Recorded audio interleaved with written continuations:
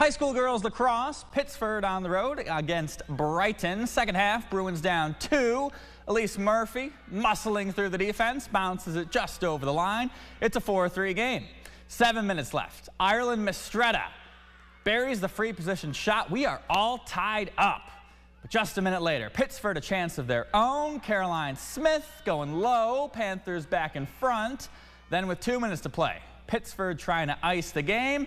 Ellie Bergin does just that. Her fourth goal of the contest, Pittsford moves to 7 and 3 on the year with a 6-4 win.